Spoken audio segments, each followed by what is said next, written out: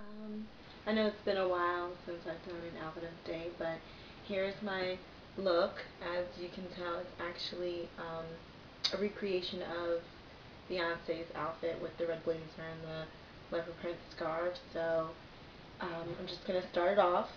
Basically, um, it's le the leopard print scarf I got from Dots for six dollars, and I basically got this uh, sorry this white t-shirt for about $3 at Walmart. I got this blazer from Goodwill for $6 and um, these jeggings for 12 at Walmart.